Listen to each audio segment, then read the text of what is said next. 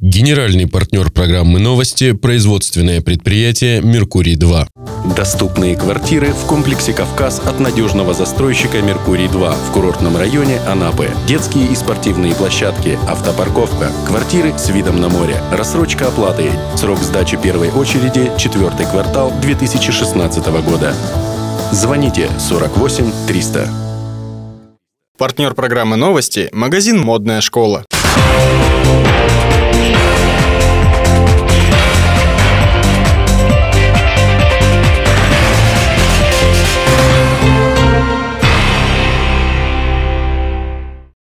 Здравствуйте! В эфире телеканал РЕН-ТВ «Новости Анапа регион» в студии Ирина Меркурьева. И смотрите сегодня выпуски. К разгулам стихии город готовится заранее. Дежурные отписки на жалобы населения. Посмотрим правде в глаза. Красота спасет мир. Всероссийский фестиваль женского спорта пройдет в Анапе. Как обезопасить себя и защитить свое имущество от разгула стихии? Для жителей Суко, где при интенсивных осадках и особенностях рельефа риск подтопления очень велик, это очень актуальный вопрос. Людям стоит задуматься о страховании жилья. Властям еще раз проверить на жизнеспособность планы по предупреждению чрезвычайных ситуаций. Осень на Кубани обманчива. В прошлом году именно осенью на наш город обрушились ураганный ветер и разрушительная сила наводнения. Свести последствия стихии к минимуму и справиться своими силами Анапе удалось. Глава курорта требует проверить планы по предупреждению и ликвидации чрезвычайных ситуаций и не оставлять людей в неведении, как им действовать в случае ЧС. Сергей Сергеев объезжает коттеджный поселок в Суко. Плотная застройка – опасный фактор. Ну куда людям идти? Сейчас наводнение, куда? Прыгать тут и скакать, как зайцы. Алгоритм действий в любой нештатной ситуации есть. И не просто на бумаге, заверяет анапского мэра начальник управления по гражданской обороне и защите населения Сергей Семерков. От этого моста вниз и до моря.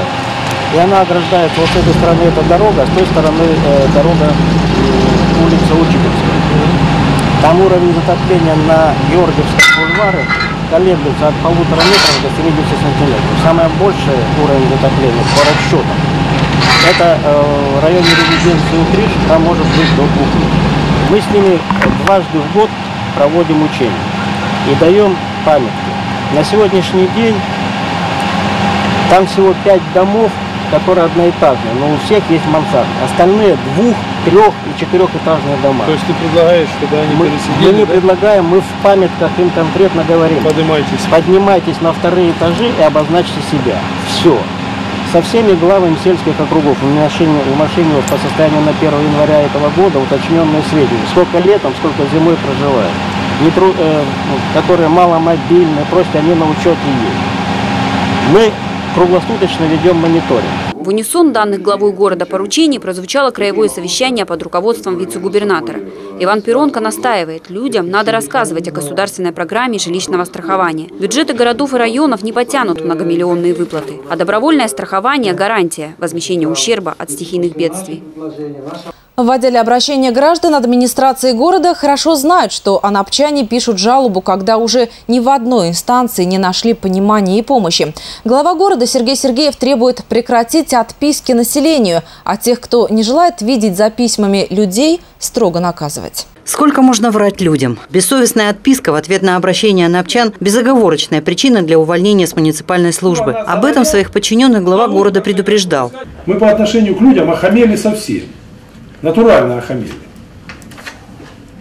И если мы какой-то вопрос не решаем, мы должны объективно доказать.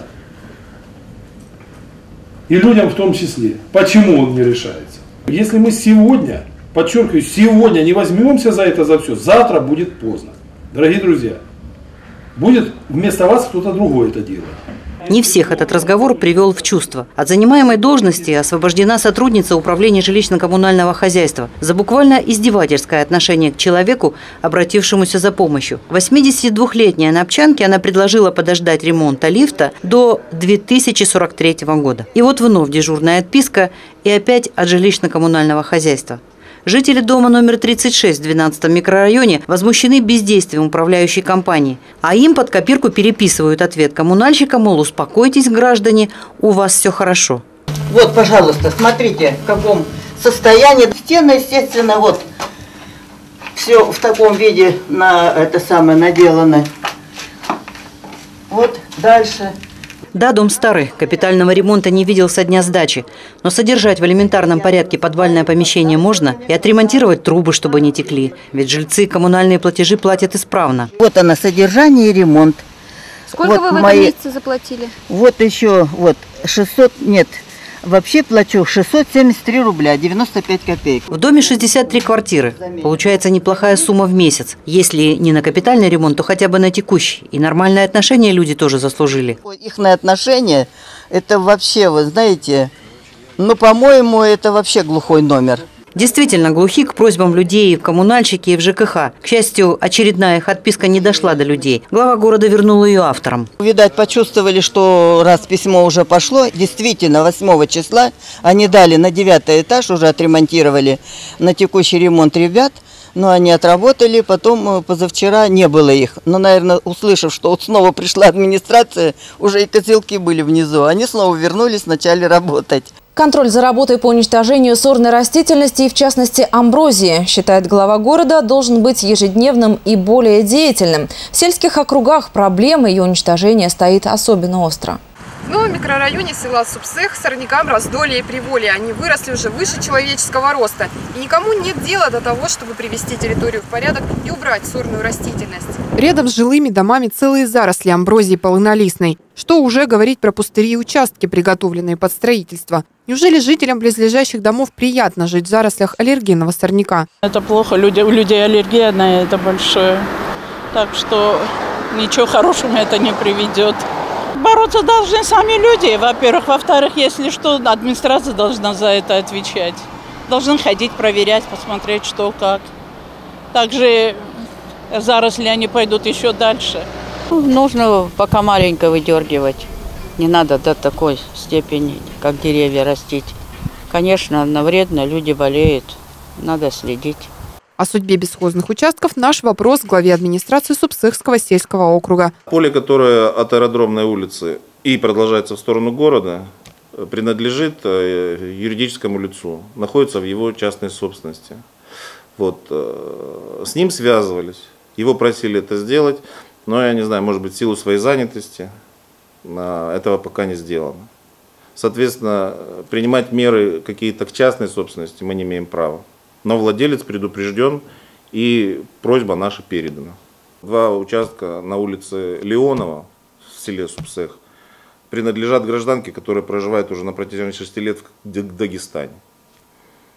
Вот, соответственно, э, в течение сезона э, работа продолжается по дворовые обходы квартальными руководителями территориальных органов местного самоуправления.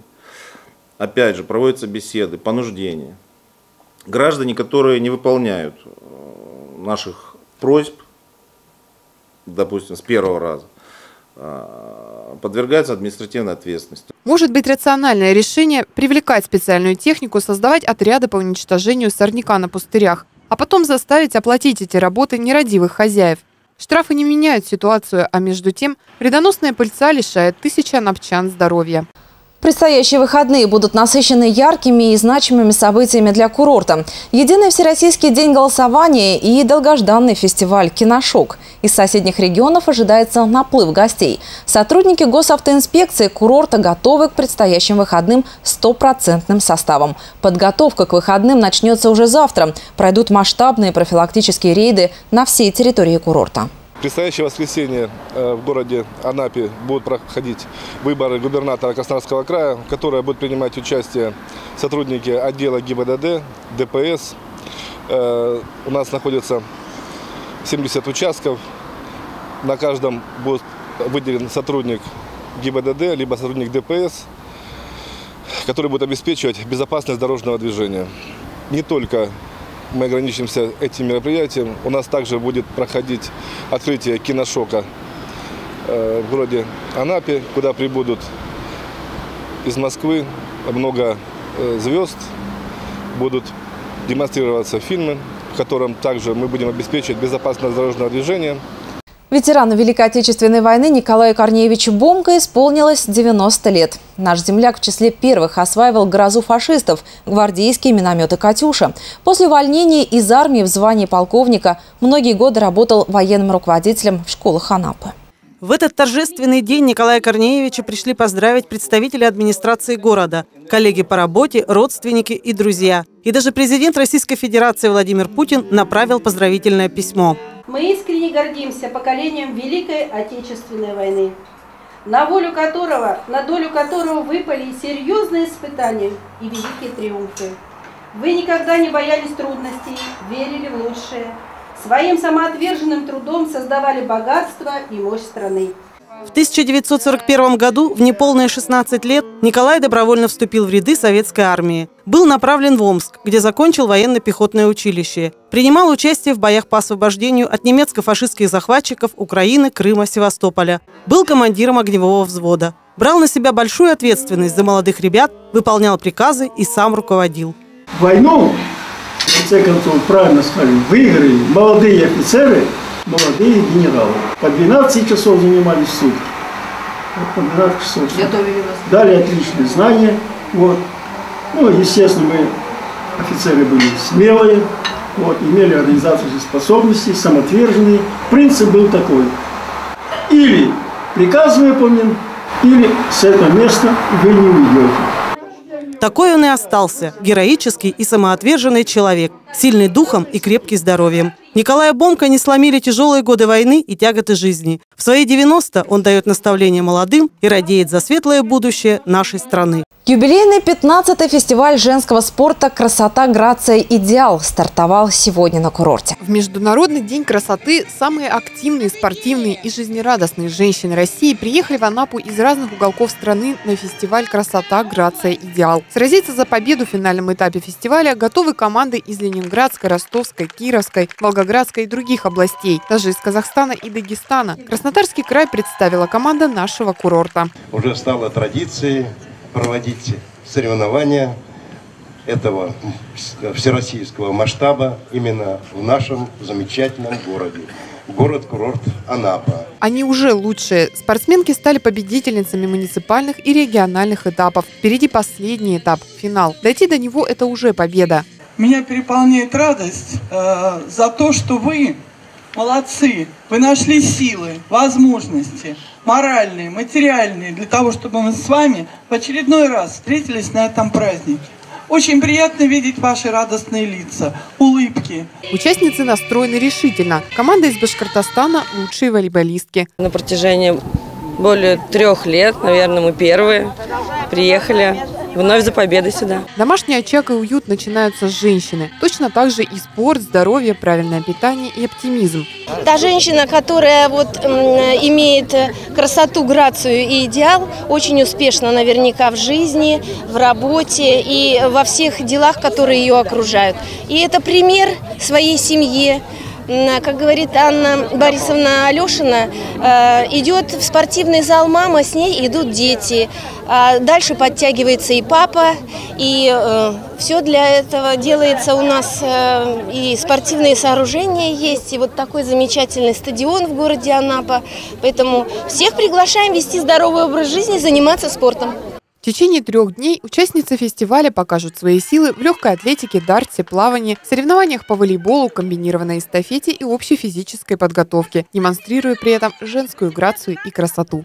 Завершит выпуск прогноз погоды. Партнер прогноза погоды – салон-магазин изделий из камней самоцветов «Тайны Медной горы».